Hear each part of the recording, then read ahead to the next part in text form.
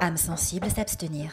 C'est occupé Je suis adepte de l'écologie appliquée et ici c'est les toilettes sèches. Pas d'écho, mais écolo, fallait vous en parler. Pour les avantages, euh, bah, c'est de ne pas utiliser d'eau. Et l'inconvénient, c'est de devoir vider un seau de matière fécale euh, tous les un mois, euh, un mois et demi ou deux mois. Oh, vous avez prévenu. Ce qui n'est pas très contraignant parce qu'en fait, ça a peu d'odeur, le caca sec, et euh, ça pèse pas lourd parce que parce que c'est sec. Ça a le mérite d'être clair, et ce n'est pas fini. L'urine, elle va s'en aller ici dans un receveur en forme d'entonnoir. Ça, c'est raccordé sur les eaux usées de l'immeuble. Et puis la matière fécale, quand on s'assied, la lunette ouvre une trappe et puis euh, il y a un seau euh, qui est situé euh, sous l'assise des toilettes, dans lequel on voit des copeaux de bois, parce que c'est très efficace contre les odeurs, mais même s'ils y sentent pas, il n'y a pas d'odeur du fait de la ventilation. On continue, vous êtes sûr? Ok, alors on ouvre la boîte à caca.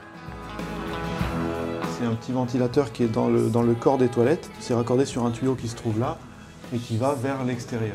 Hyper bien pensé. Et oui, ça se mérite d'être écolo. La poubelle jaune, c'est plus soft, c'est sûr. Les toilettes sèches, en plus de ne pas utiliser d'eau, euh, permettent de, de faire du compost, qui est euh, la décomposition de la matière fécale, euh, va faire du- de l'humus, qui est de l'engrais en gros. hein. Donc le papier toilette, effectivement, on en utilise et ça apporte de la matière carbonée à un compost qui en a besoin pour se faire bien. Et les toilettes sèches, c'est un plaisir qui se partage.